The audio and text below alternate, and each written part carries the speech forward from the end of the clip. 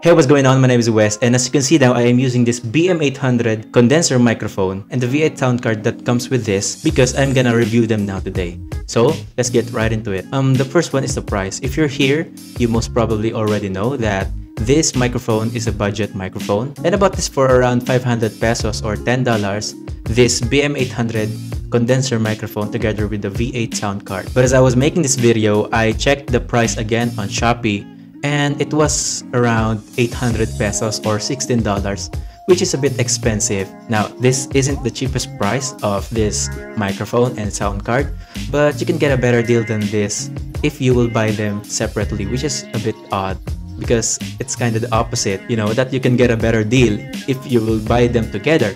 But it seems like it's a bit different here. Now, let's go to the mic test. Um, as you can hear now, this may sound okay. It sounds fine it may sound great and this is a better upgrade or a better deal upgrade than any other microphone if you have never had any condenser microphone before.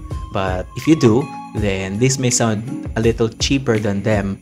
But other than that, this is a better deal than any other condenser microphone that you will find on the market right now. If you don't like the sound of this microphone, you can tweak it with the sound card that it comes with. So there's a treble here, there's the bass where you can adjust them. If you want the sound quality to become thinner or to become fuller, there's a record volume so that you can change the volume of the recording that you're having.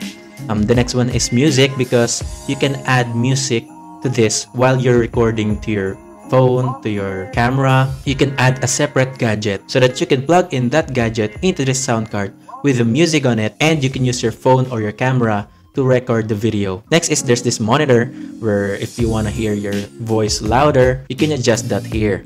Now, the other features that I have here, the electro, pitch blend, elimination, shockwave. Is that shockwave or shockwave? I never really have the chance to use them because they're a bit um, somewhat you can call gimmicky. Now, this may sound good if you will try them. They may contribute if you have a kind of video that can be suitable for them. But in my case, um, I don't really need those kinds of features below.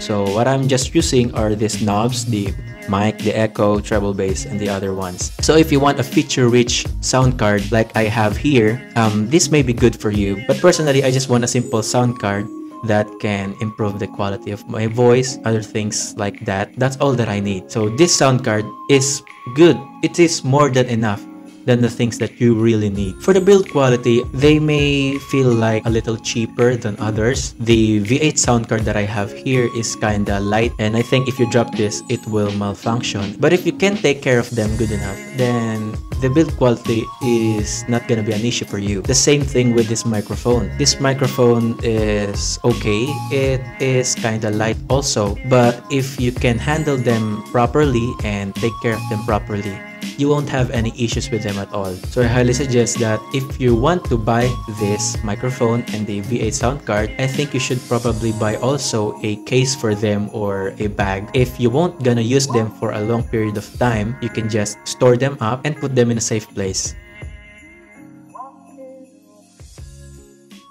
So, should I buy this? Though, I mean, I already bought this, but should you buy this? And my answer is if you really need a microphone and the video that you're gonna create, because why are you gonna buy this if you're not gonna do something about video creating? So if you're gonna create videos like mine, like here, that I'm just stationary and I'm not moving at all a lot of times, then this microphone is good for you because this microphone is built for just being in a single place. Is this a good mic for singing? Yeah, it can be if you know how to control the loudness and the clarity of your voice. How can you blend the voice to the instruments? Then this is a good microphone for singing. If you like this video, give it a like. If you don't want it, the other button seems to work as well. Subscribe and hit the notification bell to be the first one to see future videos like this. Have a great day.